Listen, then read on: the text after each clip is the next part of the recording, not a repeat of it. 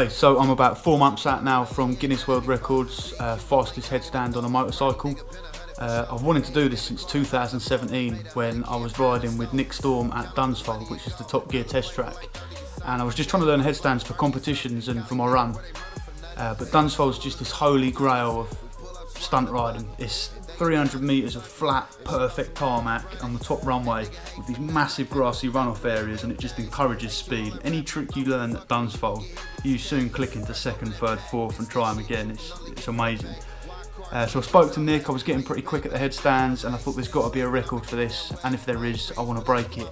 Uh, so I contacted Guinness later that year, they informed me that the record was a 32 miles an hour, about that, it's in kilometres but it's about that and I set my sights on doubling it. If I could do 64 miles an hour on my head, I'll, I'll be really happy with that, that'd be awesome. Um, so it's taken a while to get from there to here, and the reason is two things really. The first is insurance. No one wants to insure motorsport world record attempts uh, because of the obvious risks. And the second, the main reason, is location.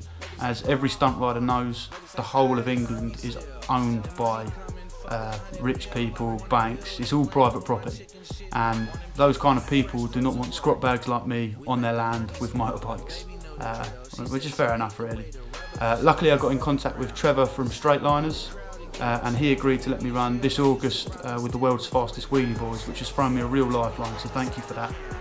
Uh, the other challenge I'm facing at the minute is the record states I have to be in full race levers uh, and yeah, levers and stunt riding just don't go. They lock you kind of like this uh, and you can't do any of the fast twitch movements you need uh, to correct the bike when you're upside down uh, and everything's heavier and slower and just more difficult. Um, but I bought myself some snazzy new levers uh, and I've also bought these 10 kilo sort of moon boots. Uh, they don't really bend um, and I'm struggling to ride in it. I don't know how people do it but we'll get there. The only other thing I've done is I've downgeared the bike from a 65 to, to a 50 uh, and I'm hoping that that's going to give me less deceleration when I roll off and kick up into a headstand so I've got a higher terminal speed and my plan is just to go as fast as I can down that strip kick up as hard as I can and hold on for as long as I can and hopefully end up with a Guinness World Record because if not I'm going to end up with a sore fucking head. Separate. Make say, uh, yeah, yeah. Uh. Say, yeah, Bobby boy chillin', whippin' that exotic. I got it, sippin' on that tonic. We smoking that chronic. They know I'm iconic. It's kind of ironic. I'm running this, gunning this. We having fun in this bitch. Living my life, motherfucker. that I'm risk. Now they know the name, but just logic. I keep it G, cause I'm a good person. Giving my everything up in these verses. Smoking that Goldilocks when it disperses. Don't even feeling it, burning me, killing it. We feeling crazy, we feeling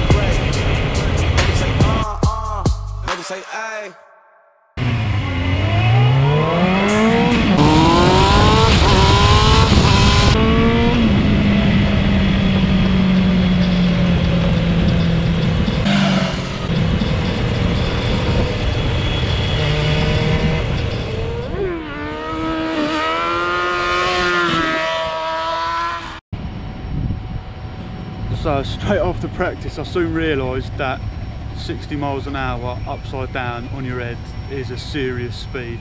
I was nowhere near it and what I was doing felt fast and I've still got so long to go. So we've had to refine everything, start marking out distances and, I'm really starting to take this seriously now to hit that speed to double a record. Um, yeah, I, I drastically underestimated that speed.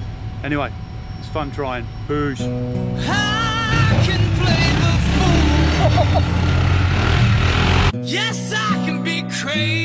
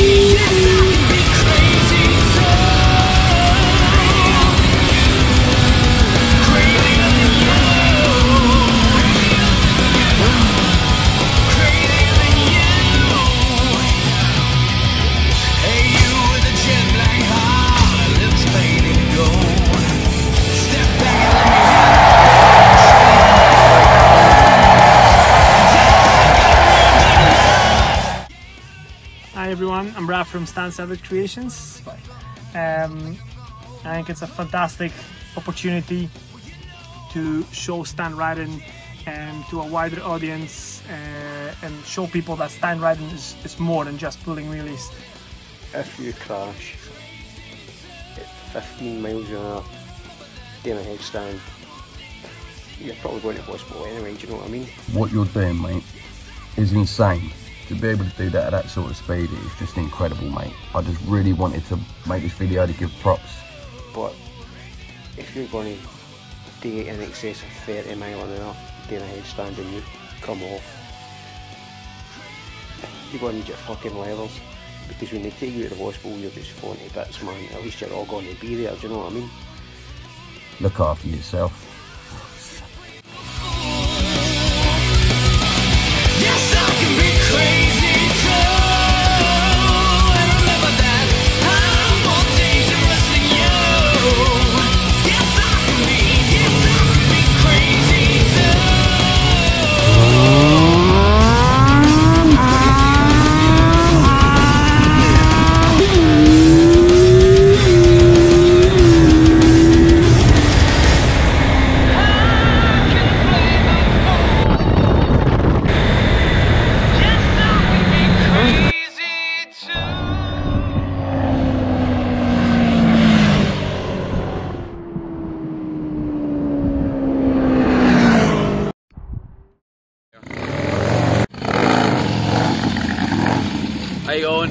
Name's Damien from uh, DK Freestyle.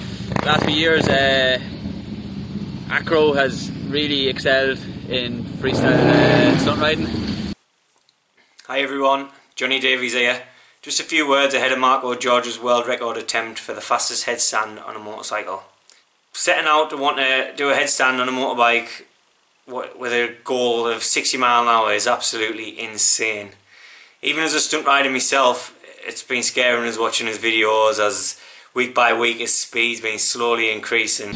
Uh, to do what Marco is proposing to do is pretty much unheard of, and um, best luck, mate. I know you get it. Keep going. He's had a problem with a bit of strength, I know, core strength, so he's been hammering the gym, getting that build up, just beating every obstacle in his way really to get his end goal of getting this record.